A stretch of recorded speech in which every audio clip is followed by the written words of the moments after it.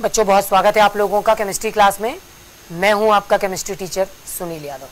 अब बच्चों, कुछ नए टॉपिक के साथ मैं आपके साथ हूँ। आज की हमारी जो क्लास है, ये बहुत ही महत्वपूर्ण होने वाली है।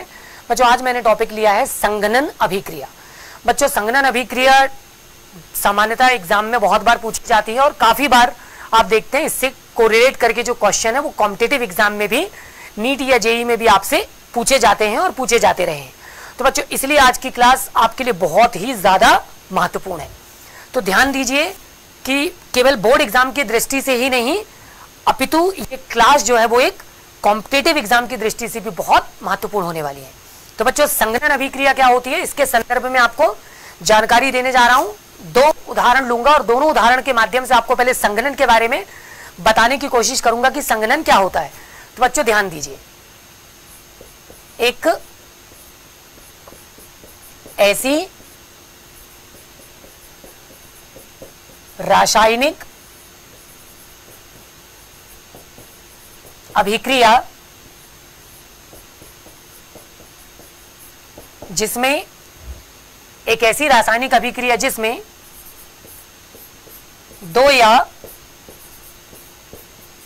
दो से अधिक, जिसमें दो या दो से अधिक अभिकारक जब उत्पादक का निर्माण करते हैं तब उत्पादक में कार्बन कार्बन एवं कार्बन नाइट्रोजन के बीच नवीन यानी कि नए रासायनिक बंध का निर्माण होता है। और और इस दौरान सरल एवं सूक्ष्म अणु जैसे NH3, H2O, HCl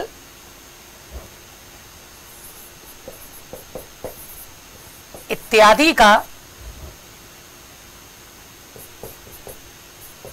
निष्काशन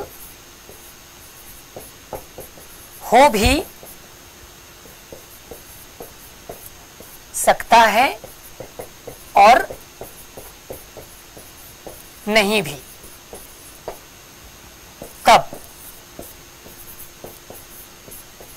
इस प्रकार घटित अभिक्रिया को संघनन अभिक्रिया कहते हैं। तो बच्चों, ये मैंने आपको संगणन की अभिक्रिया का एक संक्षिप्त विवरण आपके सामने रखा। एक उदाहरण के माध्यम से आपको समझाने की कोशिश करूँगा। बच्चों, पहला उदाहरण देखिए। ध्यान दीजिए। उदाहरण नंबर एक आपके सामने है। बच्चों, मैं C H three C H three C double बॉन्डो ये मैंने लिया बच्चों एसीटोन है ना? डाई मैथिल कीटोन इसको एक बार में अपन संक्षिप्त में एसीटोन कहते हैं। एसीटोन पर मैं क्लोरोफॉर्म की अभिक्रिया करा देता हूँ। बच्चों H C C L C L C L C H C L three है।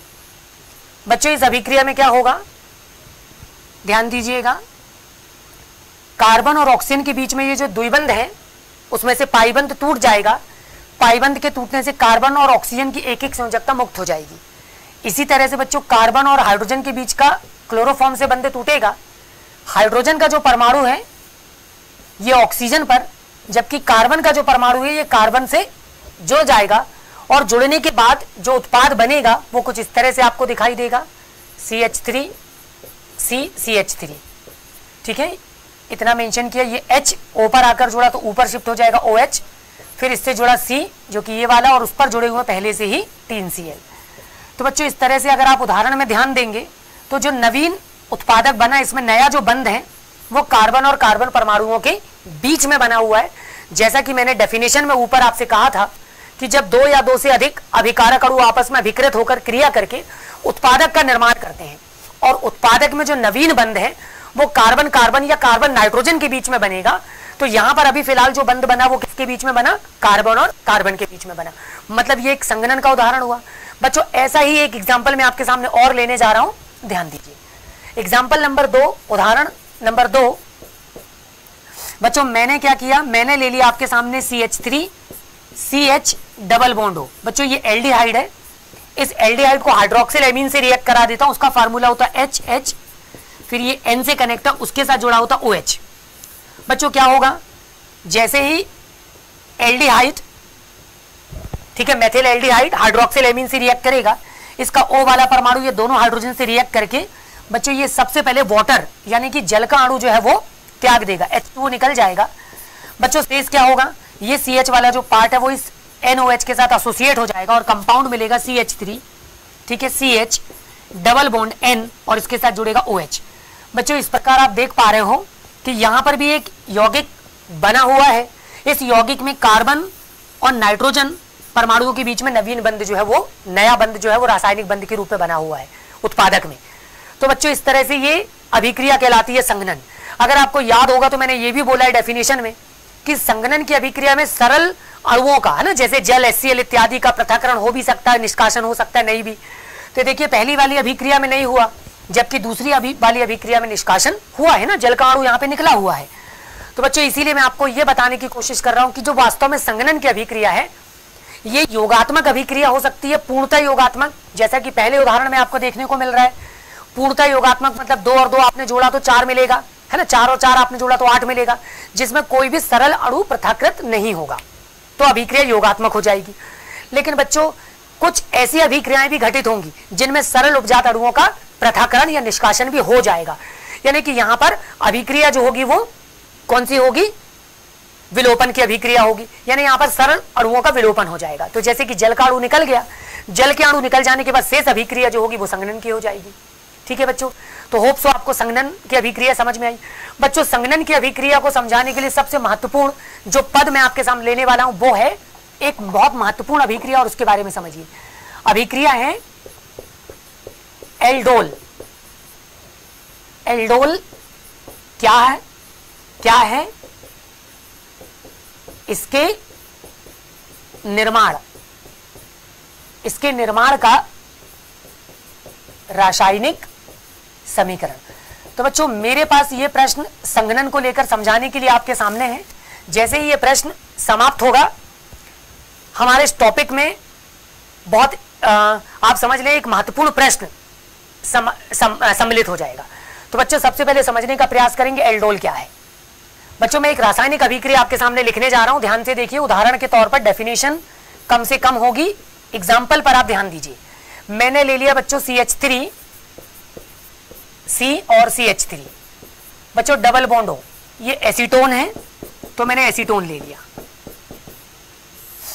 बच्चों, इसी तरह से मैं एसीटोन का एक और ले लेता हूँ, ठीक है?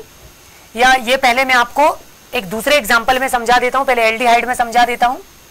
चलिए, पहले एल्डिहाइड में इसको समझ लेते हैं, फिर इसको एसीटोन में समझेंगे।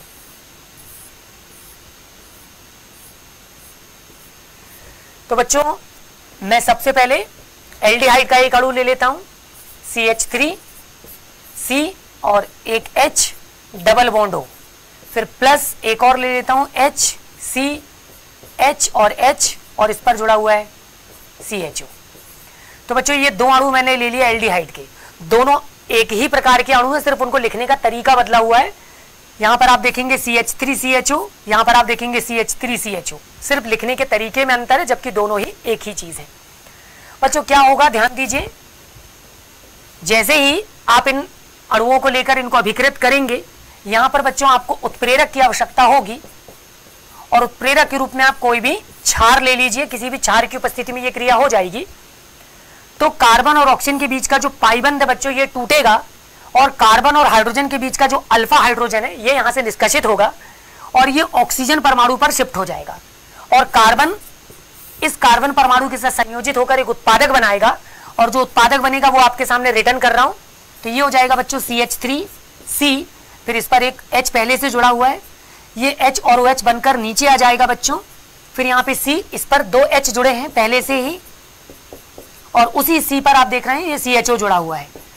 बच्चों, जबकि यहाँ से एच हटने की वजह से बैलेंसी फ्री हुई और यहाँ से तो ये कार्बन और कार्बन के बीच में नया बंद बनेगा। बच्चों, ये जो नया बंद कार्बन और कार्बन के बीच में बना ये रिप्रेजेंट कर रहा है कि अभिक्रिया कौन सी हुई? संगनन की हुई। तो यहाँ पे संगनन की अभिक्रिया हुई। ठीक है?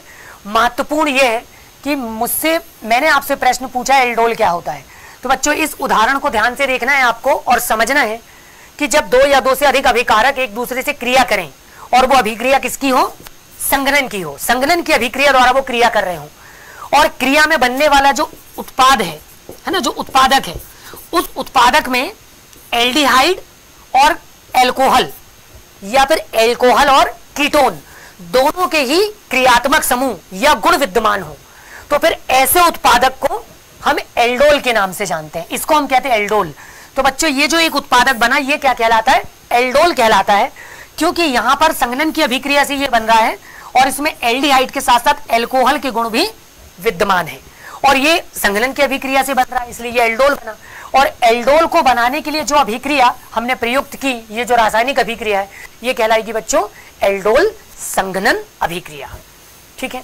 तो बच्चों, इस तरह से मैंने आज आपको संघनन और एल्डोल संघनन के बारे में संक्षिप्त जानकारी दी। ये बहुत ही महत्वपूर्ण अभिक्रियाओं में से एक है। बच्चों, इस तरह की सारी अभिक्रियाएँ जो आपके सामने आ रही हैं, इनको आप बार बार आ, इन वीडियोस को देखिए और इन अभिक्रियाओं को सीखने का प्रयास कीजिए। आप देखेंगे निसंदेह 2021 के एग्ज़ाम में इन अभिक्रियाओं की पुनरावृत्ति होगी और ऐसे महत्वपूर्ण प्रश्न आपके सामने देखने को मिलेंगे। तब तक के लिए अपना ख्याल रखिए। ऐसे ही कुछ इंटरेस्टिंग वीडियो के साथ आपसे फिर मुलाकात होगी।